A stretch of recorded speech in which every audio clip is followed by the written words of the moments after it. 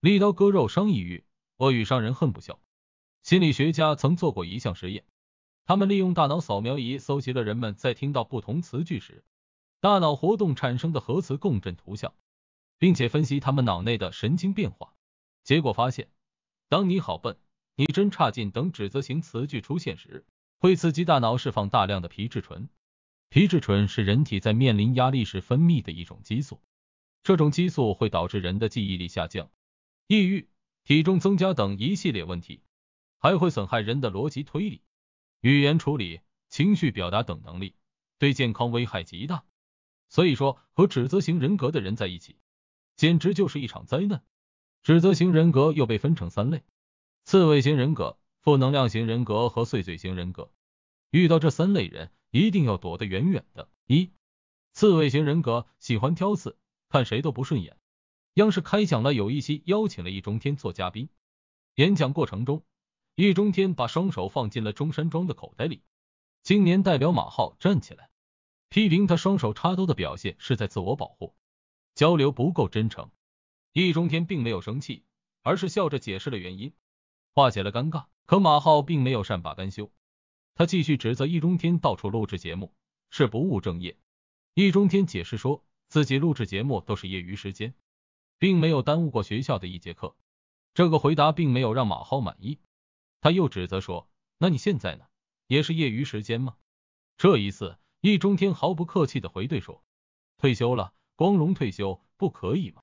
生活中，像马浩这样的人不在少数。这种人最喜欢做的事情就是挑别人的刺。他们就像一只刺猬，浑身带刺，看谁都不顺眼。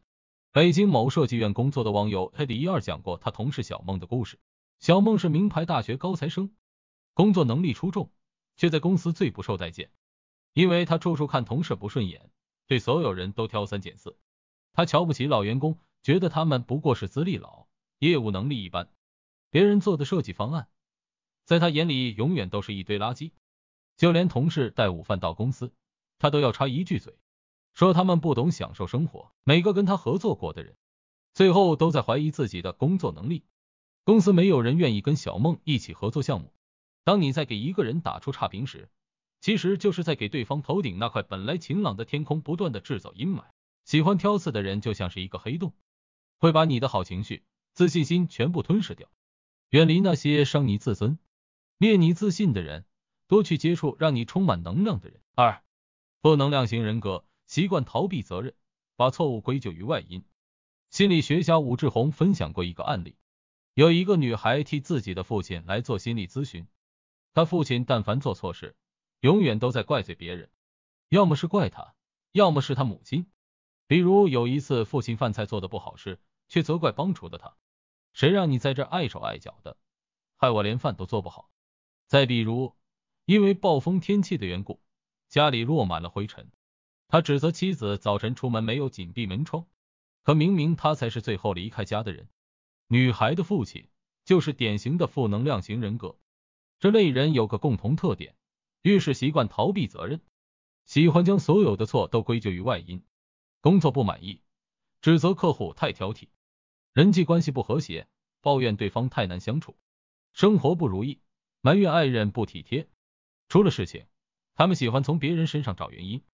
作家陈元斌在长篇小说《秋菊传奇》里讲过这样一个故事：何幸福因为和村里打官司，没办法在村里继续待着，只能和丈夫王庆来一起到城里打拼。进城后，王庆来找了个开模的工作，因为没有营业资格被罚了款，扣了车。回到家，他将所有错推给妻子：“要不是因为你，我们用得着抛家舍业？”跑这儿来看别人脸色吗？失业后，王庆来找工作屡屡碰壁，他开始抱怨社会太现实，没有过硬的关系，很难在城市立住脚。在王庆来眼里，自己遭遇的所有挫折和不公都来自外界，所有人都对不起他，只有他自己委屈。妻子和幸福因此整日以泪洗面，拼命赚钱养家，最终和幸福忍无可忍，只能选择离婚。心理学上有个著名的受害者心态。一个人会把自己不幸福、不成功的责任都推到外界身上，将自己包装成一个十足的受害者。和这样的人在一起，你要随时做好被甩锅的准备。作家周冲说，受害者心态的人就是苦毒的化身，让身边的人压抑的透不过气来。在这样的人的影响下，一个人就会陷入纠结、憋屈和痛苦的情绪中，负能量在心中积攒越多，不知不觉中就会变得悲观厌世，丧失前行的动力。三碎嘴型人格，刀子嘴比刀子更伤人。非暴力沟通中写道：也许我们并不认为自己的谈话方式是暴力的，但语言确实常常能引发自己和他人的痛苦。语言暴力就像一把利刃，会刺伤对方的心。留下一个鲜血淋漓的洞。张爱玲在回忆母亲时，脑海浮现的总是母亲那张愤怒的脸。有一次家里来客人，哎呦的张爱玲费力的搬来一张椅子，母亲却当着客人的面对她大喊：“你这是做什么？”猪！张爱玲得了伤寒，母亲负责照顾她的饮食起居，烦闷的时候便会抱怨起来：“你就是个害人精，只会拖累别人，真不该管你母亲的刀子嘴。”成了张爱玲一生的梦魇。利刀割肉伤意欲，恶语伤人恨不消。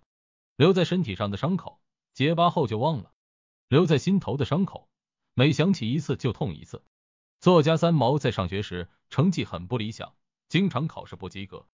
上了初中，在父母的鼓励下，三毛开始发奋学习，把课本上知识背得滚瓜烂熟。在一次小考中，三毛数学意外考了满分，但得到的并不是夸奖，而是一顿羞辱。老师拿着他的试卷，当着全班同学的面羞辱他：“你一定是作弊了，你难道就不觉得自己很可耻吗？”随后，老师给了他一张全新的试卷。受了委屈的三毛一道题也做不出来，考了零分。老师在黑板上画了两个圆圈，嘲讽他说：“你不是爱吃鸭蛋吗？老师给你两个，你尝尝好吃吗？”从那以后，三毛不愿意再去学校，也害怕与外界接触。出现了严重的心理障碍。看过这样一句话：言语上的虐待，无异于灵魂上的谋杀。那些口无遮拦、尖酸刻薄的人，会把你伤得体无完肤。遇到这样的人，远离他，绕着走。阿尔伯特·爱丽丝说：“指责型人格的人，会让你压抑的看不到自己的价值，最终活成一个低价值感的人。如果你不幸遇到了这样的人，永远不要试图去改变他，因为大概率你会失败。”还会遍体鳞伤，点个赞吧！远离指责，也对人口下留情。